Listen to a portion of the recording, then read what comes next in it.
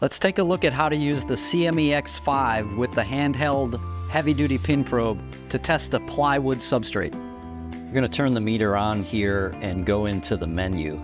And I'm going to go into the pin mode because we're using a pin probe here. We'll go down to the fourth option, which is WME. That stands for wood moisture equivalent. And now when I connect the pin probe with the bayonet connector here, you'll see it remembers that setting and I've already inserted the pin probe into the plywood, but we want to insert it so that it's running with the grain. So the pins are running vertically with the grain running vertically in this case. So we see we're getting a reading here of 9.1. And when I refer to the ambient conditions here, the temperature is 75.7, relative humidity 51.8.